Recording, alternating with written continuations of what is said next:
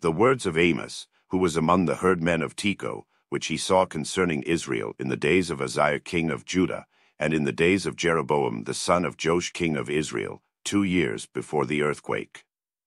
And he said, The Lord will roar from Zion, and utter his voice from Jerusalem, and the habitations of the shepherds shall mourn, and the top of Carmel shall wither.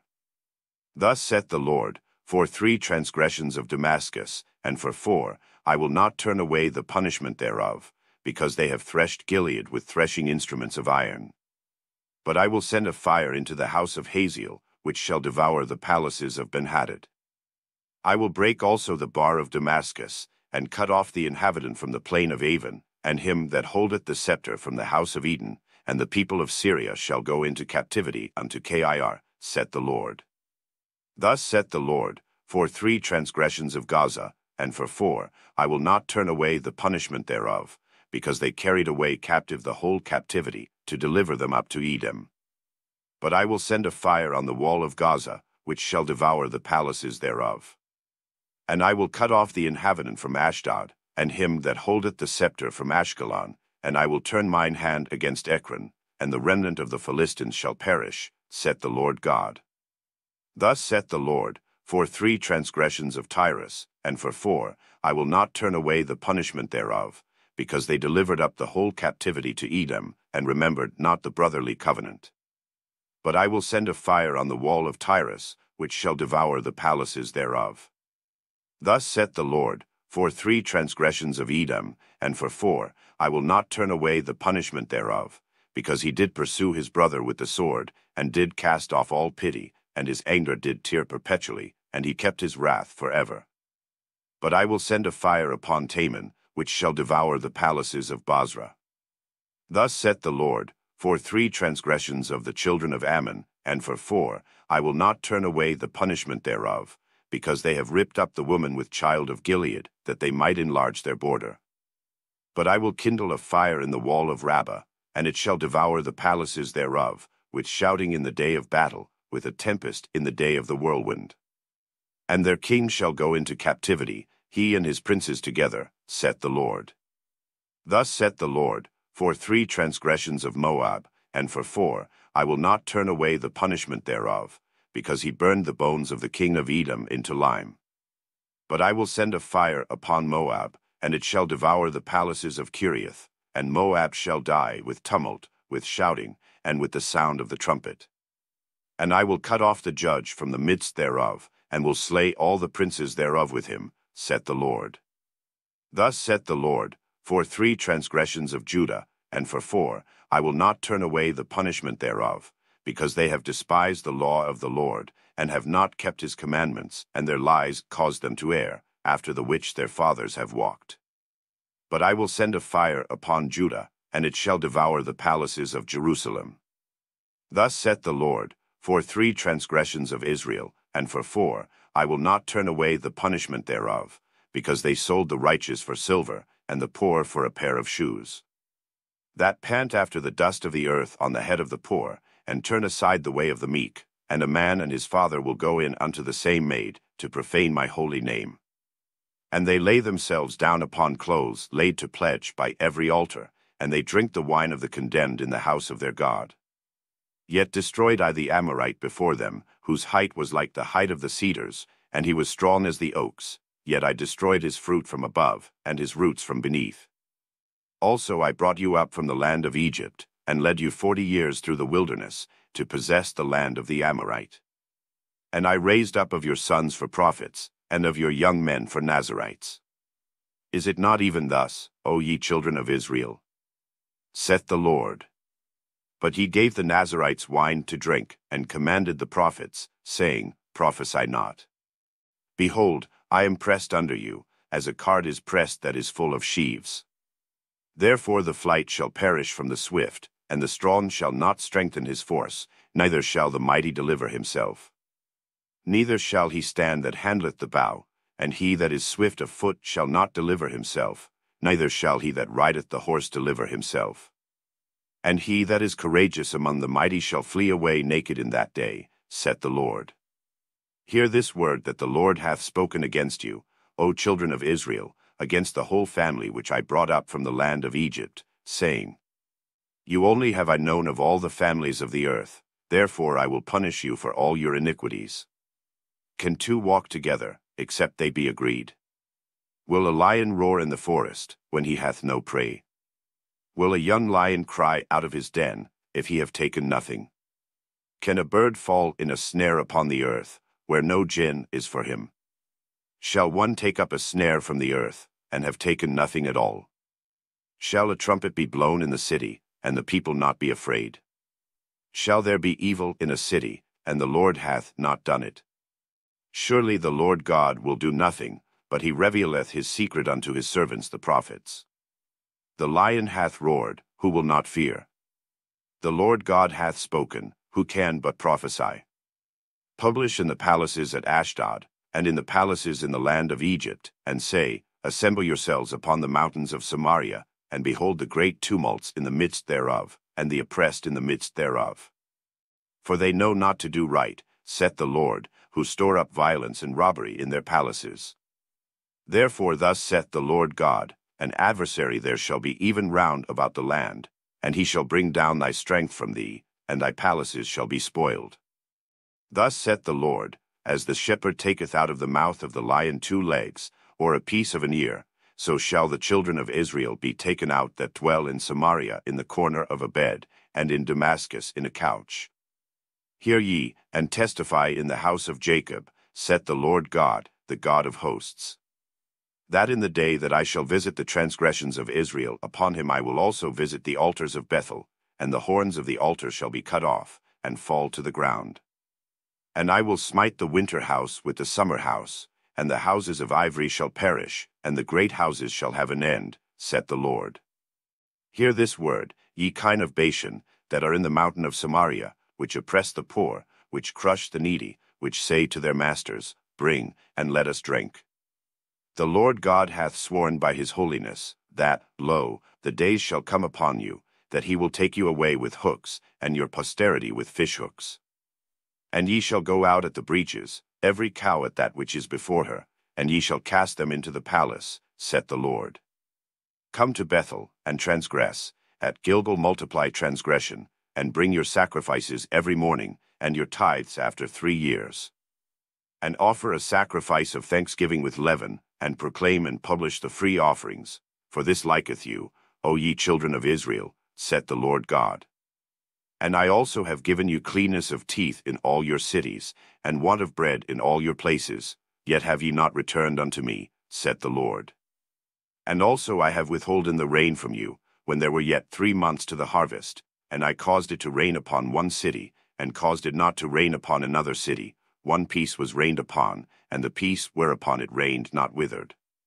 So two or three cities wandered unto one city, to drink water, but they were not satisfied, Yet have ye not returned unto me, saith the Lord. I have smitten you with blasting mildew, when your gardens and your vineyards and your fig trees and your olive trees increased, the palmerworm devoured them, yet have ye not returned unto me, saith the Lord. I have sent among you the pestilence after the manner of Egypt. Your young men have I slain with the sword, and have taken away your horses, and I have made the stink of your camps to come up unto your nostrils, yet have ye not returned unto me, saith the Lord. I have overthrown some of you, as God overthrew Sodom and Gomorrah, and ye were as a firebrand plucked out of the burning, yet have ye not returned unto me, saith the Lord. Therefore thus will I do unto thee, O Israel, and because I will do this unto thee, prepare to meet thy God, O Israel. For, lo, he that formeth the mountains, and createth the wind, and declareth unto man what is his thought, that marketh the morning darkness, and treadeth upon the high places of the earth, the Lord, the God of hosts, is his name. Hear ye this word which I take up against you, even a lamentation, O house of Israel. The virgin of Israel is fallen, she shall no more rise, she is forsaken upon her land, there is none to raise her up. For thus saith the Lord God, the city that went out by a thousand shall leave an hundred, and that which went forth by an hundred shall leave ten, to the house of Israel. For thus saith the Lord unto the house of Israel, Seek ye me, and ye shall live. But seek not Bethel, nor enter into Gilgal, and pass not to Beersheba, for Gilgal shall surely go into captivity, and Bethel shall come to naught. Seek the Lord, and ye shall live, lest he break out like fire in the house of Joseph, and devour it, and there be none to quench it in Bethel. Ye who turn judgment to wormwood, and leave off righteousness in the earth. Seek him that marketh the seven stars and Orion, and turneth the shadow of death into the morning, and marketh the day dark with night, that calleth for the waters of the sea, and poureth them out upon the face of the earth. The Lord is his name. That strengtheneth the spoiled against the strong, so that the spoiled shall come against the fortress. They hate him that rebuketh in the gate, and they abhor him that speaketh uprightly. Forasmuch therefore as your treading is upon the poor, and ye take from him burdens of wheat, ye have built houses of hewn stone, but ye shall not dwell in them, ye have planted pleasant vineyards, but ye shall not drink wine of them. For I know your manifold transgressions and your mighty sins. They afflict the just, they take a bribe, and they turn aside the poor in the gate from their right. Therefore the prudent shall keep silence in that time, for it is an evil time. Seek good, and not evil, that ye may live, and so the Lord, the God of hosts, shall be with you, as ye have spoken. Hate the evil, and love the good, and establish judgment in the gate. It may be that the Lord God of hosts will be gracious unto the remnant of Joseph. Therefore the Lord, the God of hosts, the Lord, saith thus, Wailing shall be in all streets, and they shall say in all the highways, Alas! Alas! And they shall call the husbandmen to mourning, and such as are skilful of lamentation to wailing. And in all vineyards shall be wailing, for I will pass through thee, saith the Lord. Woe unto you that desire the day of the Lord! To what end is it for you? The day of the Lord is darkness, and not light. As if a man did flee from a lion, and a bear met him, or went into the house, and leaned his hand on the wall, and a serpent bit him. Shall not the day of the Lord be darkness, and not light? Even very dark, and no brightness in it. I hate, I despise your feast days, and I will not smell in your solemn assemblies. Though ye offer me burnt offerings and your meat offerings, I will not accept them, neither will I regard the peace offerings of your fat beasts. Take thou away from me the noise of thy songs, for I will not hear the melody of thy viols. But let judgment run down as waters, and righteousness as a mighty stream. Have ye offered unto me sacrifices and offerings in the wilderness forty years, O house of Israel? But ye have borne the tabernacle of your Moloch and Chiun your images, the star of your God, which ye made to yourselves. Therefore will I cause you to go into captivity beyond Damascus, saith the Lord, whose name is the God of hosts. Woe to them that are at ease in Zion, and trust in the mountain of Samaria, which are named chief of the nations, to whom the house of Israel came. Pass ye unto Calneh, and see, and from thence go ye to Hamath the Great, then go down to Gath of the Philistines, be they better than these kingdoms? Or their border greater than your border? Ye that put far away the evil day, and cause the seat of violence to come near. That lie upon beds of ivory, and stretch themselves upon their couches, and eat the lambs out of the flock, and the calves out of the midst of the stall.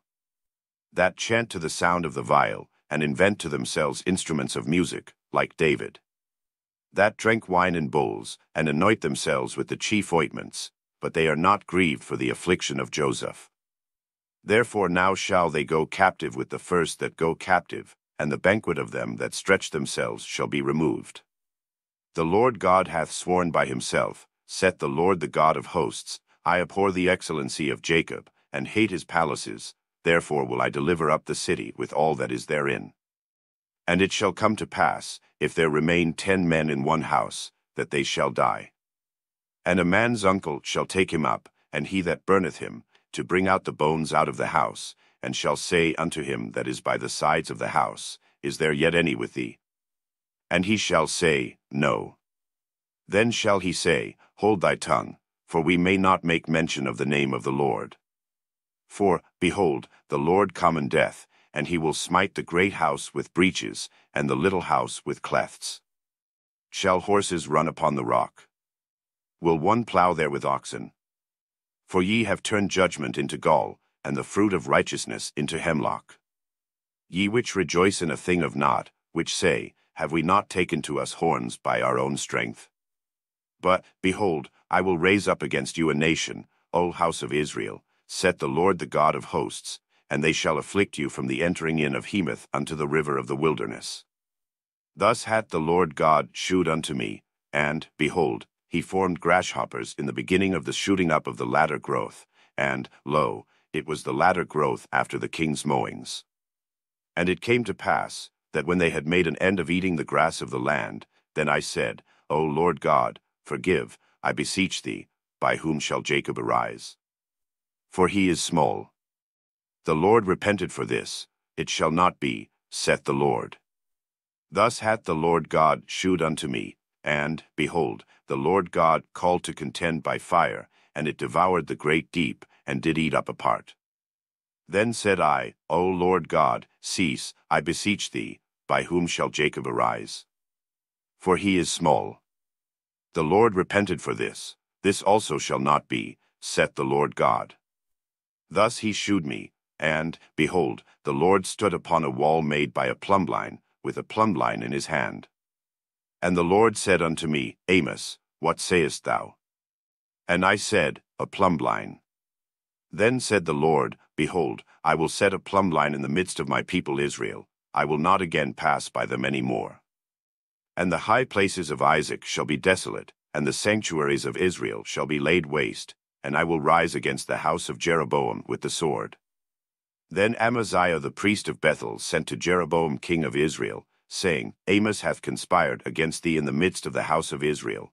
The land is not able to bear all his words. For thus Amos saith, Jeroboam shall die by the sword, and Israel shall surely be led away captive out of their own land.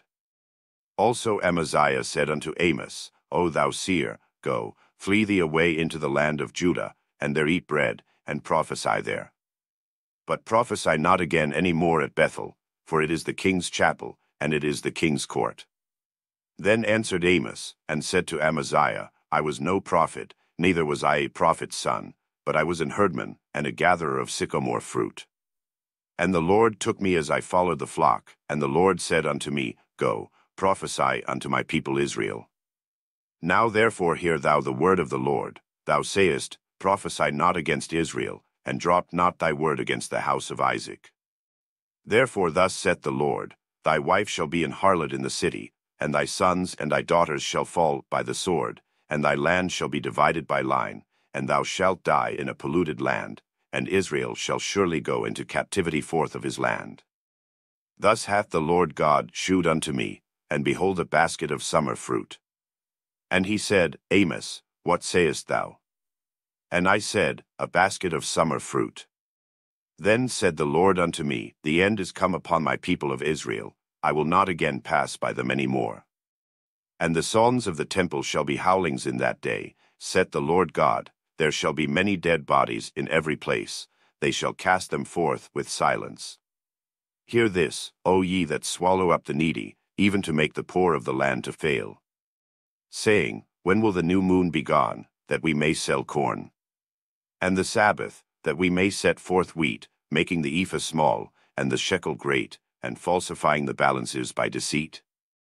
That we may buy the poor for silver, and the needy for a pair of shoes, yea, and sell the refuse of the wheat? The Lord hath sworn by the excellency of Jacob, surely I will never forget any of their works.